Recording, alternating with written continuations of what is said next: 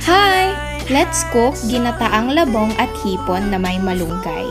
First, heat oil in a saucepan over medium heat. Saute ginger, onions, and garlic.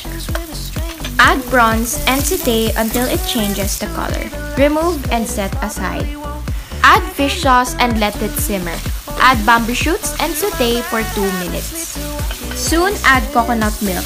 Bring to simmer until the liquid has been absorbed about 15 minutes. Add coconut cream. Let it simmer, then add back the prawns. Simmer again for 10 minutes. Season to taste with salt and pepper. Add finger chilies as garnish and the malunggay leaves. Simmer until cook about 3 to 4 minutes. You can serve it with hot rice and your favorite drink. Enjoy! Bye-bye! Every pure intention